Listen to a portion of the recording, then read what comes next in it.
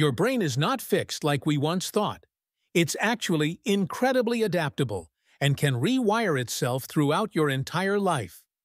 This remarkable ability to form new neural connections is called neuroplasticity, and it's happening in your brain right now. Every time you learn something new, whether it's a fact, skill, or habit, your brain physically changes its structure.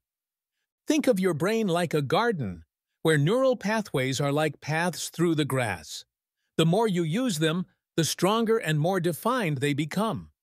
When you stop using certain pathways, they gradually fade, just like a path in a garden becomes overgrown when unused. This is why repetition is crucial for learning. Each repetition strengthens these neural pathways, making them more efficient.